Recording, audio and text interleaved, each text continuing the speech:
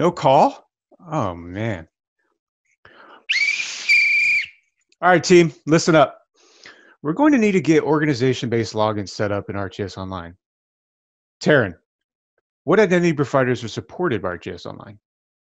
Most SAML 2.0 based IDPs, including Active Directory Federated Services, Shibboleth, and many others, as well as OpenID Connect IDPs, such as Google. Correct. Now, we can't cover every identity provider, so let's focus on the SAML based Active Directory Federated Services, or ADFS. If you are using a different IDP, the workflow should be very similar, and you can find the details in the documentation that's linked in the description. Additionally, if you're working in enterprise, the workflow is similar, but different IDPs are supported and some terminology may be different. So, can we just dive into setting it up? John. No, coach. That's right, John. There are some things to consider before setting up those logins. The biggest thing to keep in mind is the timing. It'll be easiest to set up organization specific logins before you start provisioning users in your organization. That way, the first time they sign in, they are using their organization specific login. Now, if you already have built in users and want to start using organization specific logins instead, this is doable, but you are going to need to copy items and groups to the new username. Fortunately, this workflow can be automated using the ArcGIS API for Python. For more information, see the links in the video description.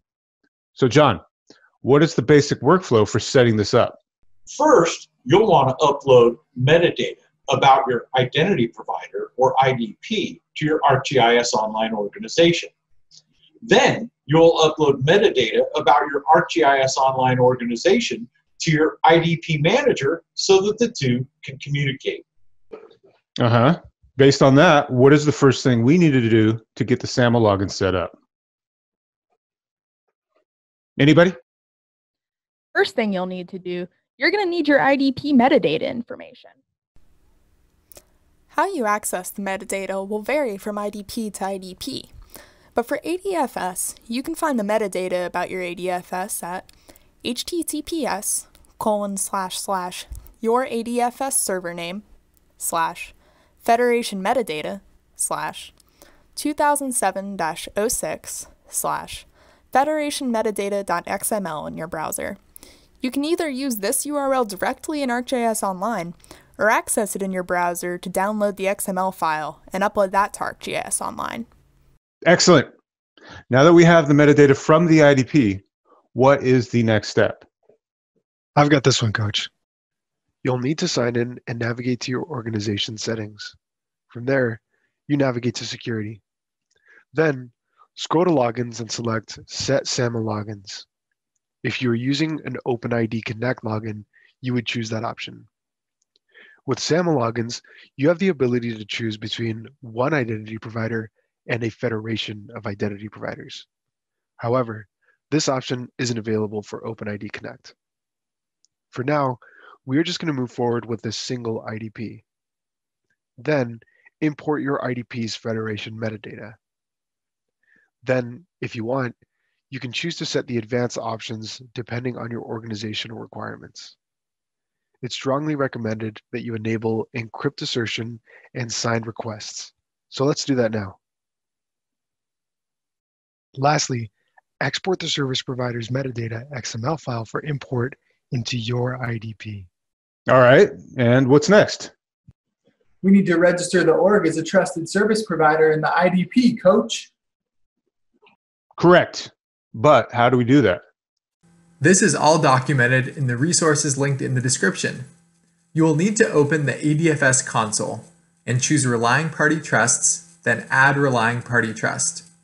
This will open up the Relying Party Trust wizard. The wizard will allow you to upload your organization's metadata. Once that is complete, the Edit Rules wizard should automatically open and allow you to match fields in the IDP with the appropriate field in the organization. All the field matchings are in the documentation, but be sure that the fields chosen meet your organization's requirements.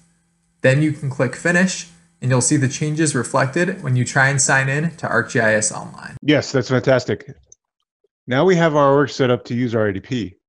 What does that look like in a client app?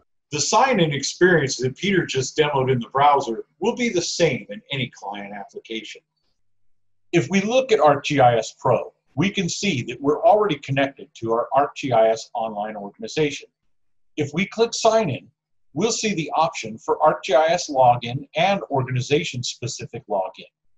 We'll need to select the organization-specific login and type in our organization's URL. When signing in from a field app, you will be presented with a similar sign-in experience. And that's it. That's organization specific logins in ArcGIS Online.